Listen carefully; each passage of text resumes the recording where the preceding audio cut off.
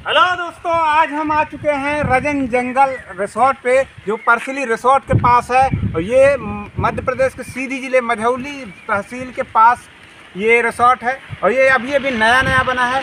इसके बारे में आपको पूरी जानकारी किस तरीके से है क्या क्या सुविधाएँ हैं क्या क्या इसमें खूबियाँ हैं, सारी जानकारी मैं आपको दूँगा। आप चलिए मेरे साथ।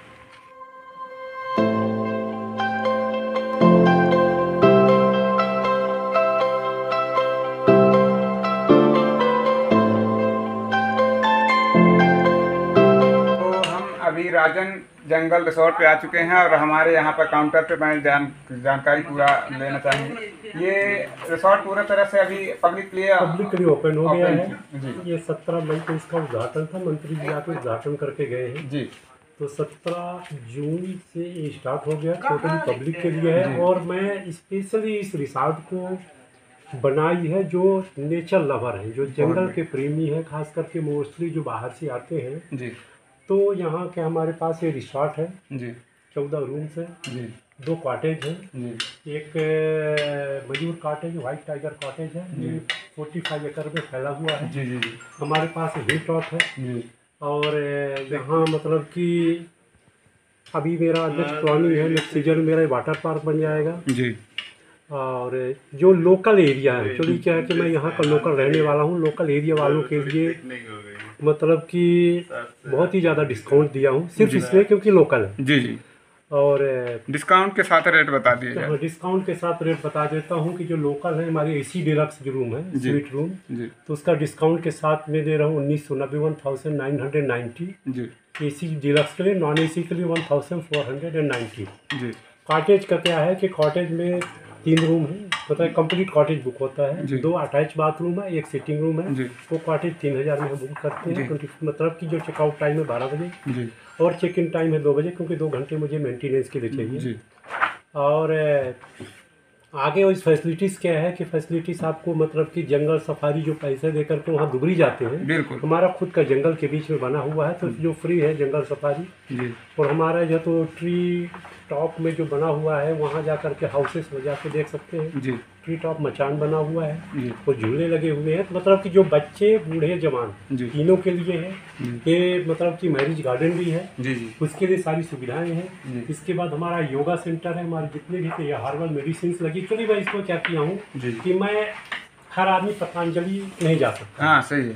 हर आदमी देहरादून नहीं जा सकता। बिल्कुल। तो इसके लिए मैं क्या है कि लोकल एरिया को उतना तो अभी भव्य तो स्टार्टिंग में है लेकिन मैं जितनी भी हार्बल मेडिसिन है औषधीय जितने भी है वो सब लगा के रखा हूँ योगा सेंटर खोल के रखा हूँ ताकि जो भी आ जाए। इसके बाद हमारा जो किचन है जी। प्योर वेजिटेरियन के लिए सेपरेट है नॉन वेज के लिए सेपरेट है तो मतलब कोई भी एक दूसरे का कोई कनेक्शन नहीं है जी। कि जिस तरह से जो आदमी आए सबके लिए सारी सुविधाएँ हों। हमारे पास वो बना हुआ है। जी। जो मतलब ग्रास हाउसेस बने बने हुए हैं। बिल्कुल। बाद में जो है तो हिल टॉप हाउसेस बने हुए हैं। जी। तो सुविधाएँ बहुत हैं आ करके आइए और आके एक बार देखिए देख के घूमिए और हमारे जो तो इसमें ऑनलाइन भी है। ऑनलाइन में रजन जंगल रिसोर्ट में जाएँगे तो मिलेगा। इसका वेबसाइट है Rajan jungle resort dot in ji actually क्या है कि मैं एन आर आई हूँ। जी। तो मैं दुनिया के सारे कंट्रीज़ में देखता था तो मुझे भी लगता था कि मैं भी अपनी लोकल आदमी हर आदमी तो मेरी तरह बाहर नहीं जा सकता। जी जी जी। हर आदमी मेरी तरह मतलब विदेशों में तो नहीं देख सकता। मैं चाहता हूँ कि हमारे जो लोकल लोग हैं वो चीज़ मतलब वो सुविधाएँ उनको मिले जो हम बाहर देख के आए हैं। तो मैं कोशिश किया इसलिए किया क्योंकि ये मैं हाइट में जानबूझ के बनाया क्योंकि जो मोस्टली क्या है ना फॉरनर्स क्या करते हैं कि जो सी मतलब समुद्र के पास जो बनाते हैं रिसोर्ट वो ग्राउंड फ्लोर में बनाते हैं। लेकिन जो जंगल में बनाते हैं वो हम टॉप फ्लोर में बनाते हैं फ़र्स्ट सेकंड या थर्ड या फोर्थ फ्लोर में जहाँ भी बने पूरी दुनिया में ताकि आदमी सोते जागते उठते बैठे जंगल का व्यू देखे। बिल्कुल तो ये सारी सुविधाएँ हैं। और दूसरी बात है कि यहाँ जो हमारा जो फ़ूड है जो। हम देते जो सर्व करते हैं अपने कस्टमर को अपने गेस्ट को। प्योर ऑर्गेनिक है। हम जरा सा भी फर्टिलाइज नहीं यूज़ करते हमारा पैंतालीस एकड़ का खुद का फार्म है। और हम जो तो गोबर की खाद यूज़ करते हैं आसपास के जितने भी गाँव हैं सबसे कम से कम पचासों ट्राली गोबर की खाद यूज़ करते हैं। जो हम खिलाते हैं वो अपना कि हैंडमेड जो हमारे नानी दादी परदादी जो बनाती थी हैंडमेड जो चक्री चतवे जो बनाते थे उसमें से बनाते हैं। हमारा खुद का मतलब कि मिल्क हमारा खुद का है। हम बाहर से नहीं लेते वेजिटेबल हमारा खुद का है हमारा अनाज हमारे खुद के हैं। और जो मतलब कि जो नॉनवेज खाते हैं वो अपनी आँखों के सामने उनको कटवा के देते हैं फ्रेश।